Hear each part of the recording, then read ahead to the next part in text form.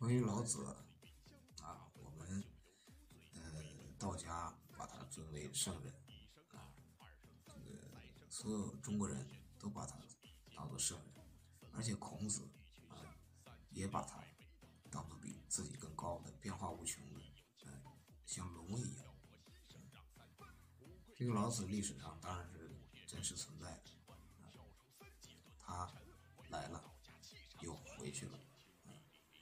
留下五千字就完成他的任务，回去呢，当然很了不起啊。关于他的传说呢，吃了李子生下来，啊，怀了八十一年等等这些呢，呃，很显然这个可能性不大。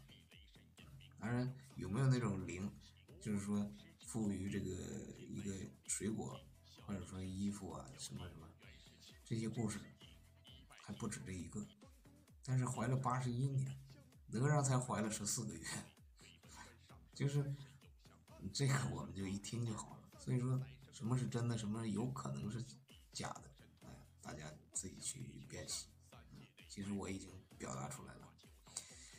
呃，老子啊，他的生平我们知道的确实不太多啊。关于他的徒弟，有现在这个。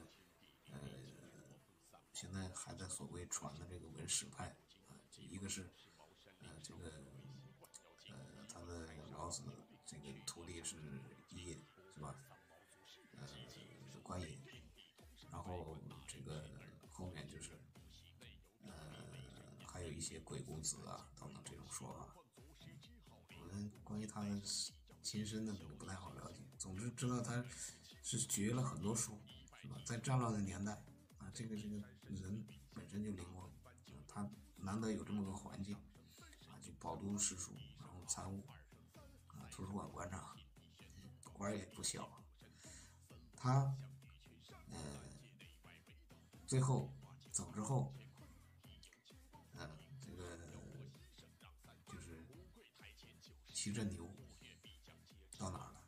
西出那边是哪？印度为什么不吃牛肉？老子画符画的是谁？释迦牟尼也在那个时代。然后，这是道家的一种说法啊，当然佛家肯定不愿意啊。这个因为释迦牟尼是他们的圣人啊，你如果说比他还高，其实。在他之前，三世佛在他之前叫什么？叫阿弥陀佛。那可以，我们就说是老子，是有这样传下来的。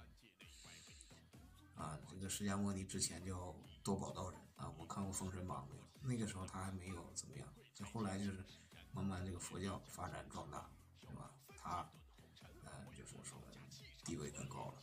甚至说很多超过很多这个呃道教，但是最高层的那些，就是他都是叫大罗金仙，那那些他是不分高低，就是逢人就是呃恭敬三分，就是没有高低，他那个境界已经到了，他可能那个他职位他不管那些事儿，权力可能小点，或者人家就愿意当个散仙，是吧？